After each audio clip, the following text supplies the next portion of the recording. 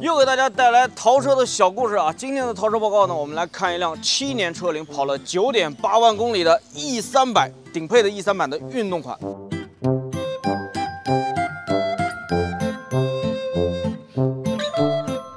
这台车呢是我们的一位老客户淘的，他之前在我们这边买了一辆宝马 X5，那台车啊开了两年的时间，反正就越开越不太喜欢，他总觉得应该再买一台轿车在手里面开一开。而就在我们这位客户动了换车念想的时候啊，他无意之中坐了朋友的一台车，那台车什么都一般啊，唯独带了一个座椅通风，让他非常的满意。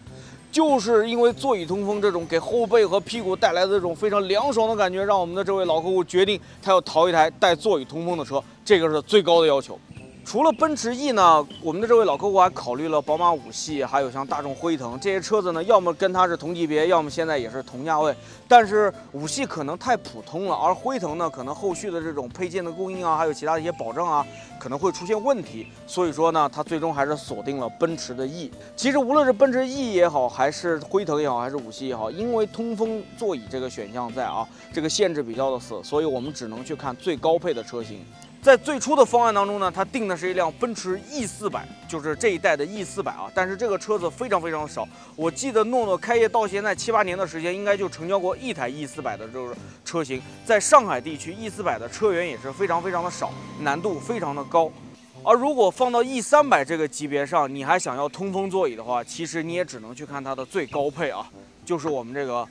头枕后头带屏幕的这种配置。但其实这个淘车的难度并不比 E 四百来的小多少啊，保有量也是非常非常的低。我们的这台车呢，你看现在外观的成色保持的非常好啊，但是它的里程数有九点八万公里。主驾驶的使用痕迹会稍微严重一些、明显一些，因为它毕竟是用打孔皮嘛，它的坐垫上是有一些褶皱的，但是没有磨损的痕迹。而后排还有副驾驶的这个成色要好很多。刚才我也看了里面的那个桃木的饰板啊，里上面的这个划痕也是比较少的，所以说这台车它的内外成色这块做的是非常非常的棒。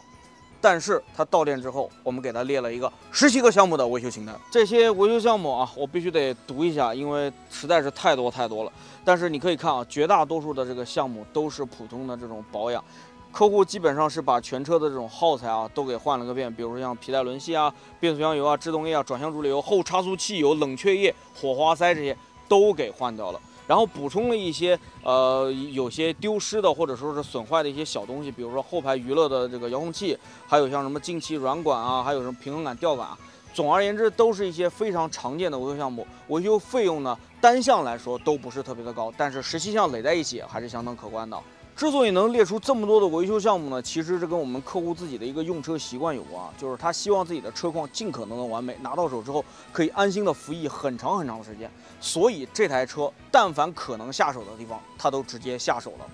这也告诉我们一个道理啊，就是你染上什么样的毛病都可以，但是尽量不要染上完美癖这个毛病，因为这个毛病真的是太费钱了。